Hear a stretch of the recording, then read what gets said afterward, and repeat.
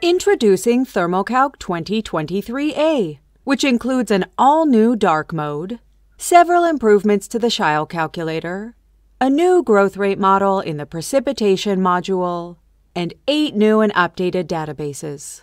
This release also introduces an additive manufacturing module, which is being released in closed beta, but is visible to all users to view the coming features. We are excited to announce that ThermoCalc can now be run in dark mode in the graphical user interface. Many users have expressed a desire for this feature as they find it easier on their eyes and offers better visibility. Users can change to this much requested mode from the Tools menu, Options. On the General tab, select FlatLaf Dark.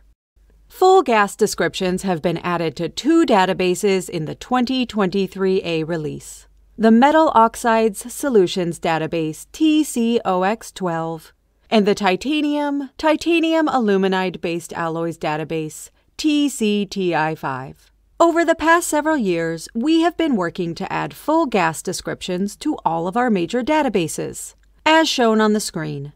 This allows users to do several simulations without needing to append the gas description from other databases preventing complications and incompatibility issues. This was also done to prepare the databases for the coming additive manufacturing module. Benefits of full gas descriptions include simulating the gassing and degassing processes, calculating the temperature and enthalpy of evaporation, and more, as listed on the screen. ThermoCalc 2023A includes four new databases including our first ever zirconium mobility database, MOB-ZR1. The zirconium-based alloys mobility database, MOB-ZR1, is an all-new mobilities database intended to be used in combination with our zirconium-based alloys thermodynamic and properties database, TCZR1. The database is designed for simulation of diffusion-controlled phenomena using the add-on diffusion module DICTRA and or precipitation module TC Prisma. MOB-ZR1 includes eight elements, three phases, and several assessed systems. A new version of our Metal Oxide Solutions database, TCOX12, is available with the 2023A release.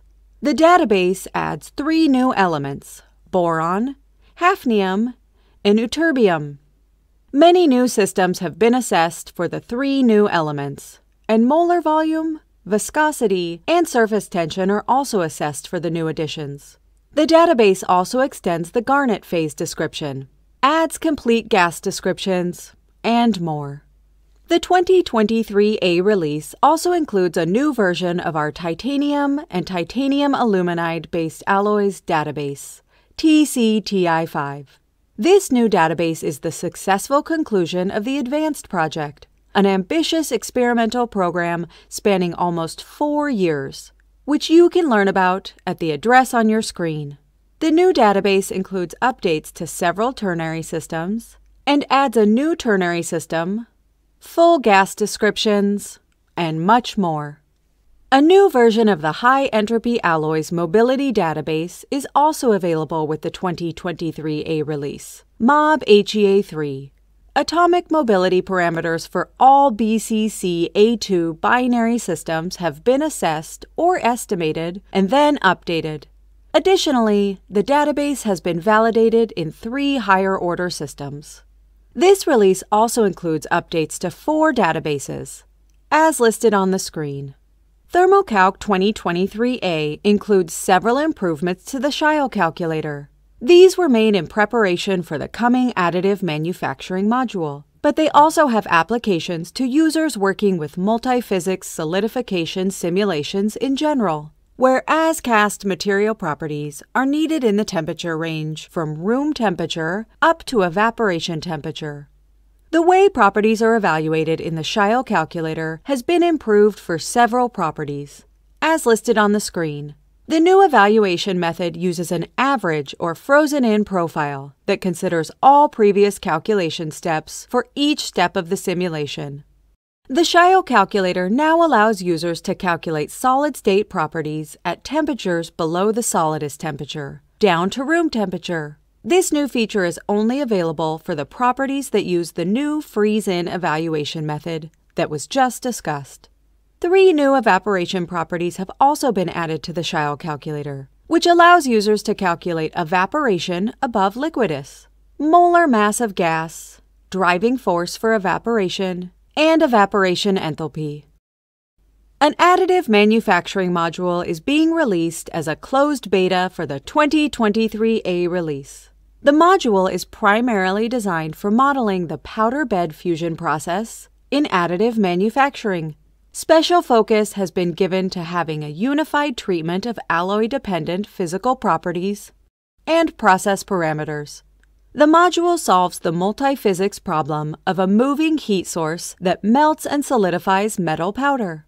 The multi-physics simulation involves thermal conduction, fluid flow, evaporation, radiation, and convective heat loss. All users of ThermoCalc 2023A can access the beta module from the home screen of ThermoCalc. Users can configure calculations and look through the module to learn about its functionality, but calculations cannot be performed.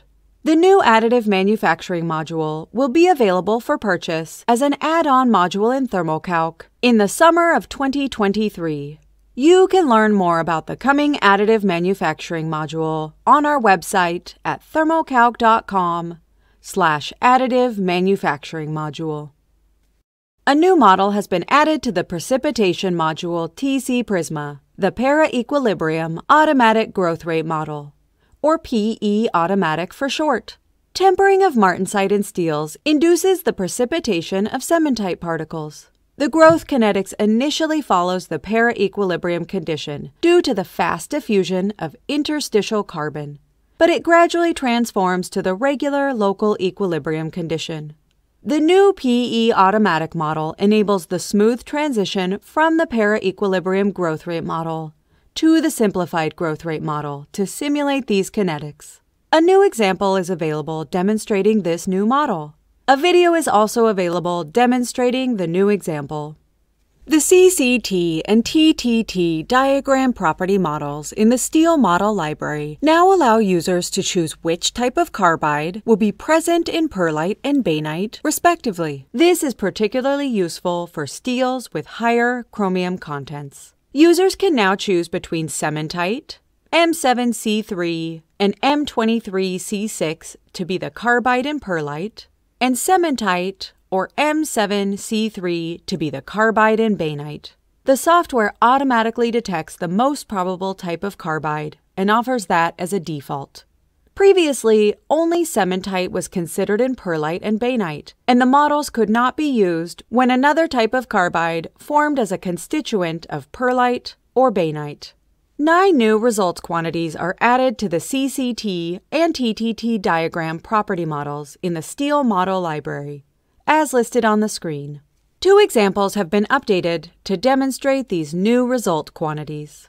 To learn more about all of the new improvements, features, upgrades, and databases in ThermoCalc 2023A, visit the release news page on our website at thermocalc.com slash release news.